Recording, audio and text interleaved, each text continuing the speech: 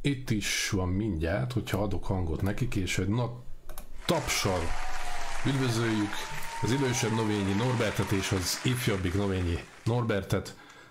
Pár Hello. száz, pár ezer kilométer. Különbséggel itt ülünk egymásra. Sziasztok, örülök, hogy itt vagytok velünk. Kicsit vezessünk fel titeket, növényiket, akik nem ismernének titeket itt a nézők közül. Nem hiszem, hogy sokan lennének, de érdemes azért beszélgetni arról, hogy itt most már több generációs küzdősportolókról beszélünk. Ugye itt a, itt a nagypapa is annó még küzdősportokhoz igencsak közel állt, aztán az idősebb növényi Norbert gondolom ennek a hatására csöppent bele, és egészen olimpiai bajnoki címig ment, és a, az unoka, az ifjabbik növényi Norbert pedig most így a Bellator MMA bunyós ezt. Ezt hogy látod így idősebb Norbi ezt a, ezt a történetszámot? De igen, az édesapám az először rökölvívó volt, ifjúsági válogatott volt, és utána ment el. Nagyon jó barátja volt a Paplacinak, egyébként a nőverem keresztapja is volt, Paplaci bácsi, és boxolt, és utána meg elment birkózni. Aztán különböző okok miatt pankrátó lett, profi pankrátó lett, mert nem vittek ki három olimpiára se, és akkor megkérte a profi licenszét, és úgy lett, mint fehér angyal eh, járta Nyugat-Európát, majd jött vissza és eh, birkózott újra. És hát nekem ez eleve adó volt, hogy nem akart egyébként, hogy versenyezzek, csak azt akarta, hogy sportoljak, és akkor, hogy jártam le edzésre, de egyre jobban mentek a dolgok, és én meg azt mondtam, hogy hát nehogy ne legyen vele valaki, mert apám volt a legjobb barátom, a példaképpen, és mindig néztem a újságcikkeket, hogy, hogy mikor nyert, hol kapott ki, akkor visszaadta, nem adta, és akkor elkezdtem dolgozni, és akkor egy idő után megkezdtek jönni az eredmények. És én ugyanígy voltam a Monóval, és hát őt csengettem 12 éves koráig versenyezni egyébként. Hát nekem jár... azért más, nekem kicsit másmilyen volt. Nekem ugye úgy volt, hogy engem nagyon sokat vert ugye apum uh, otthon, igen, és igen, valahogy meg kellett védenem magam. és nézd meg, most meg más, szóval emlékszem minden nap, minden este, szóval ja, ja. és belecsöppentem a küzdősportba, és most már ja, ja. ne bánts! A lényeg, a lényeg az, hogy, hogy őt is, nekem az volt a lényeg, hogy minél több mozgásanyagot vegyen föl magához, hmm. ezért mindent csinált, ő kiokosinkájozott, kungfúzott, kosarazott, akrobatika rock'n'rollzott, golfozott, kosárlabdát, tehát mind birkózott, ökölvendésekre járt, és azt a végén meg ő döntött el, hogy mit akar csinálni. Én nem erőszakoltam azt, hogy ő, hogy ő melyik sportot választ, ő magától választotta ezt a dolgot, és most ugyanezt próbálom a, az öccsével is elérni, aki szintén nem lesz egy egyszerű srác. Ugye, apa, ennyire ráúsz minden, nem fogják venni az emberek a könyveidet, te. Kicsi. Nem, bár nem csak már róla minden. De ahogy látom ezt a, ezt a kapcsolatot, ahogy leírtad a édesapáddal, hogy, hogy baráti kapcsolatnak tekintetted, nem csak egy szülő-gyerek, viszont ezt, hogy látom nálatok ugyanúgy vitted tovább a gyerekeid esetében. Hát remélem, hogy így volt, bár a Norbi most már okosabb, mint én már mindegy jobban tudálom. Nem, nem, nem, nem, nem, nem, nem, ezt el kell mondanom, nem, nem, én ezt mindenkinek megmondom, hogy ha valamiről, valamiről veszekszek veled, az azért van, mert tudom, hogy igazam van. A sors, a sors úgy hozta, hogy, hogy nem éltek együtt, ugye most elég nagy távolság van közöttetek, Norbi, te, te Londonban vagy. Ezt a kapcsolatot így, így interaktív formában napi szinten szinte fent tudjátok tartani? Vagy hogy, hogy éritek meg ezt most az apa-fiú viszont? Szerencsés dolog ez, ugye, ugye a tudomány ott áll, hogy a technika, hogy minden nap tudunk a Viberen beszélni, mindenki átbeszélik, meg, megbeszéljük. Hát az a jó, szerencsém van ebben is, mert a Norbi nagyon szereti az edzőjét, és hogy beszélgettünk az edzőnől, sok minden ugyanazt mondja, mint én, tehát nincs ebben vita. És akkor meg át tudjuk beszélni a dolgokat, van, amik, amik kisebb dolgokban van, amik, amiben van néha olyan, amit én kicsit másképp látok, de ez nem, nem zavarja nem, meg. Nem szereti, nem szereti azt, hogy, izé, hogy uh, megállás nélkül sparringolok, és kemény sparring, és akkor mindig nyávogok. És akkor mondja, itt az idő, de mondom, hogy áj, nem tudom, muszáj kemény sparringolnom, szóval ez, ez, egy ilyen dolog, hogy kicsit a edzőm nagyon rajtam, hogy, a, hogy gyere be, gyere be, és mondom, egy, úgyis egy tudod, hogy edzeni fog, csak hagyd pihenjek már egy kicsit magamnak, mondom, nem, gyere be, és akkor néha ő ezt, ezt a ezt nem szerető, mondja, hát, hogy... Egy dolog is, ezek, akik, akik már nagy teljesítményt akarnak elérni, ezek elfelejtik, hogy azért a test az jelez. Tehát ha, ha fáj a lába, vagy fáj a az azért mondja a, a szervezetnek ezt a fájdalmat, hogy figyelj már egy kicsit rám, légy szíves, valami nem frankó, mert különben nem fájna. Tehát én, én ezeket próbálom, mert a, a munka és a pihenésnek a, az aránya az nagyon-nagyon fontos. Tehát a, a Norbi azt tudom, hogy tehát nagyon alázattal van a sportágján, és mindent megcsinál, és azért a, tehát ő 15 éves korában ment ki innen, és azért ő végig felnőttekkel edzett, és azért ő csak 20 éves most is, tehát maradjunk annyiba, és azért ez nem egy, nem egy kis, kis dolog, még csak most fog két-három év múlva férfi lenni, meg beérni. Az idő az ilyen. És persze, hogy féltem, hogy megsérül, és azért mondtam, hogy figyelj kicsit, ha nagyon fáj vagy nagyon, akkor inkább pihenj egy kicsit, mert úgyis edzel, nem lógod el a dolgot, de muszáj, hogy a szervezet regenerálódjon, mert abból csak baj lesz, és ha hosszú távon akarja ezt a sportot csinálni, mert amit nem véletlenül mondanak a világ egyik, hanem a legkeményebb sportágának, akkor viszont oda kell erre figyelni, ez egyértelmű. Hogy jött a döntés Norbinál az MMA-ra? Tehát mondta édesapát, hogy sok mindent kipróbáltál. Nem, Mi? előbb mondtam, hát vert, meg kellett védenem magam. Csak ennyi. um, nem, um, nem tudom, igazából szerintem az emberben benne van kicsit, hogy ezt csinál, és ugye ő megnyitott az edzőtermet, és, és én közben kosaraztam és tényleg nem is meg kézlabdáztam, kosaraztam egy időben, plusz elkezdtem utána akkor vele birkózni, meg a, ugye MMA, és ugye gondolom csak elkezdtem oda lejárni, és, és egyre jobban nekem mindig is, és most is nekem az, a, amit a legnagyobb szerelmem a sportban, a technikaisága, amikor mindenki azt mondja, hogy ő csak két hülye állat üti egymást, közben annyi technika van mögött, és annyi ész kell, hogy mögötte legyen, főleg amikor már elérsz egy olyan szintre, amikor, ez mint a legutóbb meccsen, minden sírogat, hogy hát fent kell lenni a kezének, már ha nem, akkor leüt. Hogyha kicsit értesz hozzá, akkor megtudod, hogy hol kell fent lenni, hol nem kell fel lenni a kezednek. És ilyenek, és akkor vannak ezek a dolgok, amikor kicsit hozzájutsz, hogy tényleg van, vannak ilyen, ilyen dolgok, hogy, hogy ebbe a szögbe, itt a ké, ebbe a szögbe, így meg úgy, és, és ez, ezben a gyönyörű, és engem szerintem mindig ez is vonzott, és hogy jobban belekerültem, ez belehúzott magába a sportba szerintem. Meg a kemény munka, az, hogy tudod, hogy keményebben dolgozom, mint bárki más. Próbálom így az éveket fejbe összerakni, nagyon rossz vagyok így az idő, idősávokban, hogy az idősebb Norbi neked még nem is olyan régen volt egy MMA világbajnoki mérkőzésed, így ebben a szabályrendszerbe készültél, és gondolom ezt láttad te is így fiatalabb Norbi ezt a közeget, nem? Én most nem mondom neked, hogy nem látom, mert, nem, mert az anyja nem engedte el, azt mondta, ez olyan durva, hogy ő nem láthatja. Komolyan egy volt. Oh. De viszont, viszont nekem nagyon nagy élmény volt, mikor 2013-ban együtt voltunk King Splitbe a világbajnokságon, replingben és akkor ott tudtam a saját fiammal együtt, a 12-13-es fiammal együtt versenyezni, és ez, ez egy óriási dolog volt. Hogy jött, hogy jött a lehetőség, hogy a Bellatorhoz menj, ilyen profi szervezethez? Ugye akkoriban Magyarországon volt több gála is, és akkor ott, ott mutatkoztál be szervezetnél, ha jól emlékszem. Igen, szóval a magyarországi meccs után, ez még nem fog, soha nem fogom elfelejteni, de jó volt, szóval megnyertem ugye a meccset, ugye az egy, az egy nagyon jó élmény volt, ez még másik profi meccsem volt, Bellatoron vagyok, vagy 5-6 ezer ember előtt, az ezek, az egy nagyon jó dolog volt, és um, utána emlékszem, hogy a két edzőm, egy csapattársam, aki ott tudtam melegíteni, meg egy Uh, ő is úgymond csapattársam, de a, a Migi nagyon sok neki spanyol, spanyol tévés rá, sok, nagyon sok mindent csinál nekünk, és emlékszem, hogy el, elmentünk egy kajádába, és akkor együtt voltunk, meccs után, és akkor uh, leültetnek edzők, ugye éhes vagyok, azt tudom még hol vagyok, tudod, ilyen, a meccs után benned van minden, és mondják ezt, hogy vannak jó híreink, de először egyel. Szóval elkezdtem menni, mondják, hogy most írt a Bellator, uh, le akarnak téged szervezetni hat meccsre. És akkor hú, és ugye akkor most lesz két éve majd április végén, hogy leíraszkoztam, azóta csak két meccsen volt velük, szóval gondolt, hogy hogy érzem magam, de abból a két meccsből ez egyik a világon a legrosszabb meccs volt, amikor beteg voltam, mert az tényleg borzalmas volt. A, a másik a világon a legjobb meccs volt Dublinban, mert az meg... ja. Ez, ez benned barát, mondtad, hogy erről mindenképp szeretnél mesélni, ez ja. tavaly szeptemberben a Dublini mérkőzésed, igen. Ja, ja. 13 ezer néző volt, hogy mennyit mondtál ja. valahogy Szóval, és már, már ne felejtsük hogy az ír az nem olyan, mint bárhol máshol. Ezek üvöltenek, énekelnek egyszerre, és, és tapsolnak, és minden úgy képzel, egy nagyon másfajta atmoszféra van az egészben. És már maga az egész hét jön kemény volt, hogy a srácokivel meccseltem, meg is mondtam, hogy, és hogy őszintén apa, apu is mondtam, ő is mondta, amikor előbb mondta, hogy, hogy addig csinálod, amíg szereted, és ott is mondta, hogy nem azért csinálod, mert szereted, mert egyszerűen ki voltam, ugye a 11 hetes edzőtáborból 8 hét az olyan szarú ment, mint az állat. Egy, ezt, a ezt mondtad, mikor lett, beszéltünk igen. El.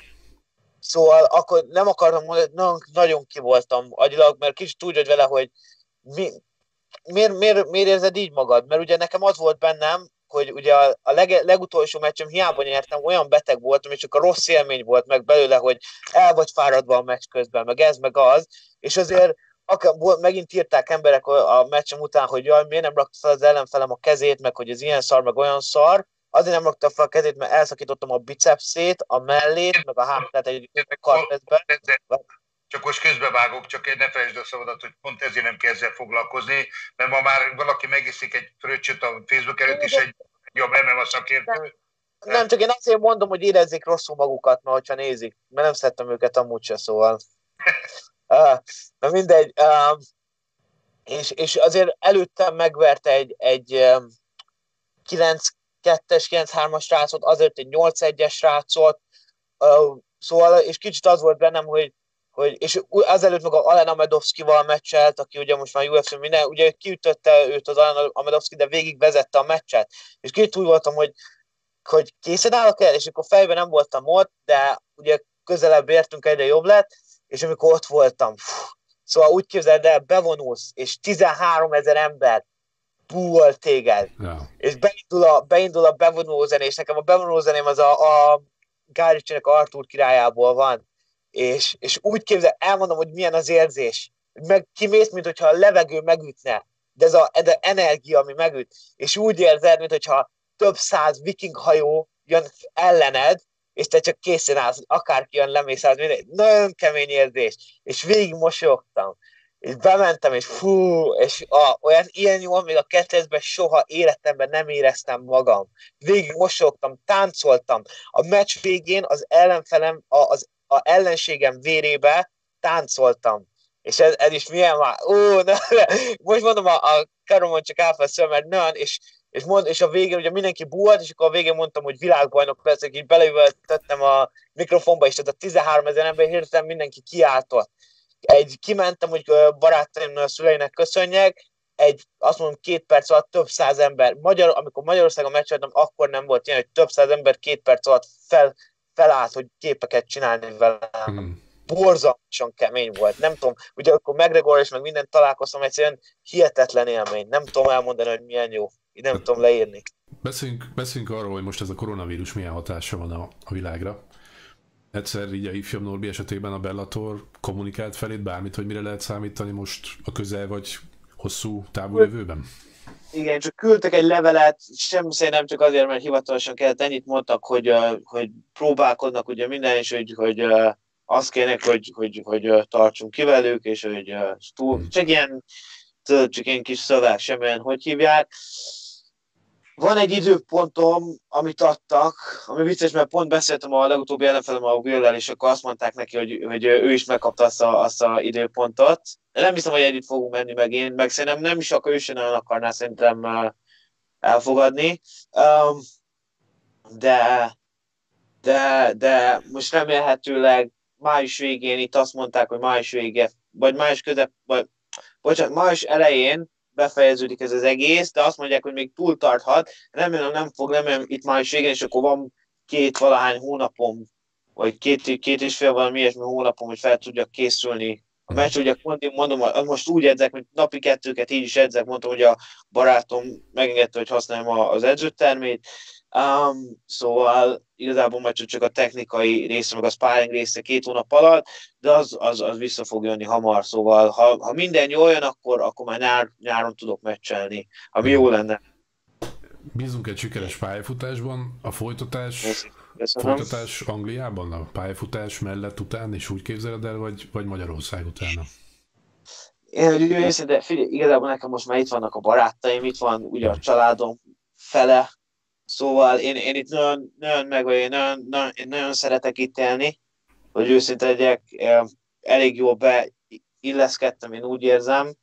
Um, majd meglátjuk, figyelj, el tudom, a, szerintem a pályafutásom második felét azt én itt képzel, vagy a többi, nem második felét, mert még felénél sem vagyok, de a többi részét azt itt képzelem el, aztán ki tudja, sok ország el akarok, majd lehet fogok költözgetni mindenhova nem tudom, de most én, én, én jelenleg itt, én itt nagyon szeretek élni, szóval hmm. itt várom el. Idősebb Norbi, tehát tartott továbbra is a edzéseket a fiataloknak a akadémián? Persze, edzéseket én is tartom, én magam is edzek, hát ez a hobbim is, az életem is, tehát ez, ez normális, mi mellette megcsinálom a, a civil dolgaimat. Hát fél, hat éves korom óta sporttal foglalkozom, ezt nem lehet csak úgy kiszállni ebből hmm. máróra. Meg hát ugye figyelem én is a, a, a, a világ sportját, fő, főleg azokat a sportokat, amikben én is ö, szerepeltem, az alasportomat, a birkozás, most meg az, az is szeretem, a grapplinget végig, ugye a kickboxot is. Gyerekek is vannak, nehéz egyébként, nehéz, mert a legtöbb probléma a szülőkkel van a baj, mert egyből versenyeztetnek akarnak a gyerekeket, én meg nem nagyon szeretném, tehát van ide, mindenkinek van ideje, nem kell, hogy 7 éves korában már, már megnyerje minden gyerek, mert akkor tízes korában már nincs motivációja, sérül, beteg. Tehát én azt gondolom, hogy a gyerekeknek játszani kell, minél tovább maradjon gyerek, serdülő, ifi, és ezekben az időszakokban, hogy fővesz tapasztalatokat, abból fogtad majd építeni a, a jövőbe. Én ezen dolgozom. Hát én most remélem, hogy az emberiség kicsit megtanulta azt majd ebben a dologban, hogy jobban kell egymásra figyelni, toleránsabbak kell lenni hát, egymással. Szállítente van egy ilyen, nem tudunk semmit emberi hogy hívják, szóval ember az ember, akárhol vagy akárki, az ember az ember az mindig ilyen lesz, szóval és sajnos ez ilyen. Hmm. Ha más nem legalább, akkor szeretteinkre jobban figyelünk egy kicsit a közvetlen hozzátartozóinkra, meg a közvetlen. Az biztos, hogy sokat változott a világ, a gyerekkoromban én a 90 kerületben laktam Jósmati lakótelepen, mindenki tudtam, hogy ki kicsoda, ma meg alig ismerem a, a szomszédjaimat, tehát elég furcsa lett a világ, rossz irányt vett. Hmm az önzőség, a, a minden, tehát ha belegondolsz, itt Magyarország az elmúlt 20 évben mindenki foci edző volt, és hol tart a foci, mindenki, most mindenki virológus már, mindenki ért mindenhez, mindenki orvos, előtte meg mindenki ha lesztek egy meccset, vagy akkor a legjobb boxoló volt, meg mindenki hozzá tud szólni, közben soha életében kezdjük. Ez, szerintem ez, ez olyan, ez, ez, ez, csak a internet után van, mert mindenki olvas minden hülyeséget, én az bírom, aki mindenki mondja, hogy ja, ez a koronavírus az azért van, hogy ezt a 5G-t el, hogy hívják, holják. Közben van 5G 5-6 ország, vagy valami ilyesmi, egy koronavírus az egész világon. Szóval ez csak azért, mert többet tudnak olvasni az emberek is. Mindenki azt hiszi, mindenki azt hiszi, na, ezt, még ezt még hagyrakjam ki, hogyha azt hiszed, hogy az embereket érdekel, hogy te mit gondolsz, ide nekem senkit nem érdekel. Csak ez, ez egy másik dolog. Mindenki azt hiszi, hogy, hogy, hogy érdekli az embereket dolgok, amiket mondanak, de közben tudod, el is. Én nekem meg, nekem meg az a vélemény, hogy az a baj, hogy az emberek gondolkodása csak mások véleményét tükröz, és egyből ítéletet mondanak, egyből véleményt alkotnak valakiről, hogy azt se tudják, hogy micsoda vagy kicsoda, mert az már munkába kerül, hogy valakit megismer, és úgy mondja róla véleményt, vagy bármi más dolgokról, és uh, sajnos ma ezt, ezt a világot éljük. Én igazán próbálom ezt valahogy a, eltolni magamtól ezeket a dolgokat, pedig higgyétek, hogy nem kevés inger ér engem is ilyen dolgokba, de hát nem tudom, nehéz. Most ez az időszak tényleg nehéz, az ember próbálva egyébként maradjunk annyiban mindenkinek. Ez most, ez most nem, akik elvezet munkákat, meg, meg mondom, akiket otthon nők, meg gyerekek, akik otthon ütik őket, meg még akár férfiakat is, de maga ez, hogy ez egy nem jó dolog, akkor hát most ez nagyon kemény lesz mindenkinek, de tényleg azt kívánom, hogy mindenki jusson ezeken túl, aztán csak jobb legyen. De hát majd meglátjuk. Így van. Mindennek oka, mindennek oka van. Az egészség mellett azért a egzisztencia vagy megélhetés, vagy a hosszú távú perspektíva nem utolsó szempont szerintem. Főleg, hogyha mindenki nyugodtan tud majd aludni még, amellett is, hogyha nem betegszik meg, az egy fontos dolog, és bízom benne, hogy erre, erre mindenkinek lehetősége lesz. Akár itt Magyarországon, akár ott Angliában, vagy világszerte. Én, én nagyon szépen köszönöm az időtöket, így nagyjából egy órát lőttem be, hogy rabolnék tőletek időben, és a nézők részéről is én hálás vagyok a figyelmükért, a sok kommentért köszönjük nektek, és hát nektek két Norbinek az időtöket megtisztelő volt, hogy tudtunk beszélgetni, és szerintem nagyon hasznos és jó, jó volt. Köszönöm nektek. Én is köszönöm. Vigyázzatok egymásra, itt távolról is, magatokra is. Szép, szép estét. Ugyanezt kívánom én is. Köszönöm, minden jót. Sziasztok. Sziasztok. Sziasztok. Sziasztok.